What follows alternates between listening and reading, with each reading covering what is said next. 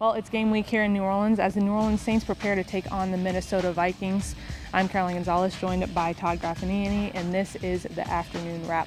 Well, we were here in the Ochsner Sports Performance Center in the indoor today for the Saints practice, where we saw Drew Brees out today for today's practice, but we surely saw Teddy Bridgewater step up in his place. No question about it. I, I thought, Caroline, that Teddy Bridgewater had his best practice, maybe as a New Orleans Saint. Uh, there weren't too many balls that hit the ground today, and just uh, talking about it with the local media, it, the confidence, the accuracy, it just seems to get better and better. And he's really working his way in. I don't know about you, but I can't wait to see him perform on Friday uh, against another team because obviously he's going against his teammates. But uh, you would think he's going to play at least a half, possibly three quarters of football. And uh, if he can back up what he has done in practice on, on the field, there are going to be a lot of excited Saints fans. Drew Brees not participating in today's practice, as well as Alvin Kamara, which led to other players stepping up in his place, including Latavius Murray. Yeah, Latavius again continues to get better after you know he sat out a little while with with injury, but. Uh,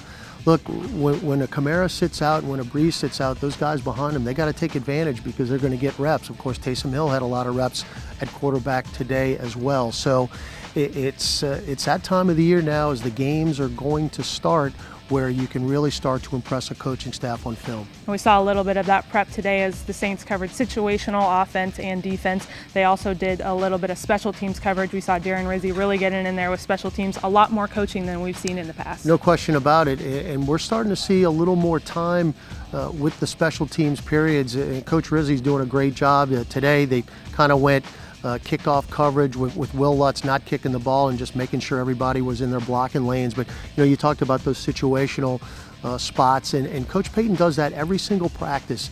If you go after a team period, they have a situational period where today uh, you, you, think about these things, you kind of take them for granted. Where uh, you had the quarterbacks taking a knee, you called the victory formation. That's to wrap up the clock uh, in the fourth quarter. They worked on that today. Uh, they worked on a hard count as far as a quarterback trying to draw the defensive line off sides. They work on those things. When you see them in a game, you realize, well, they're not doing that on a whim. They practice it, and you never know when things like that win a ball game for you. And of course, today to wrap up practice, we had quick two-minute drill. I mean, I think we can both agree that the defense won today, but it was a good competition getting ready into, into to go into game week. Yeah, and Coach Payton mentioned the thing about today's practice after last night's really very good practice, as he talked about it with the media today. You want to follow up a practice like you had last night at Tulane with another one here today, and they did that. And what you really want to see are both sides of the ball getting it done. You don't want to see one side dominate another because obviously that means the other side's got to get better. But the defense did have uh, a little bit of an advantage at the end of the two minute period, but both sides did good things this afternoon. Let's go ahead and hear from Sean Payton on what he had to say about practice today. Yeah, I mean, I thought look, we had a number of periods. We had a third down period. Um, we'll take a peek at the tape. Uh, I thought the defense did pretty well in the two-minute drill at the end. Um, I thought I thought the practice coming off of la- I thought last night was one of our uh, better practices, and I felt um, I felt like they followed up today with another good practice on both sides of the ball. So.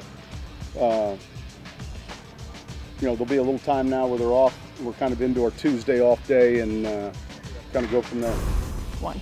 Well, the Saints will take tomorrow off and return to practice here at the Ochsner Sports Performance Center on Wednesday as they prepare to take on the Minnesota Vikings. For Todd Graffagnini, Caroline Gonzalez, thanks for tuning in to the afternoon wrap.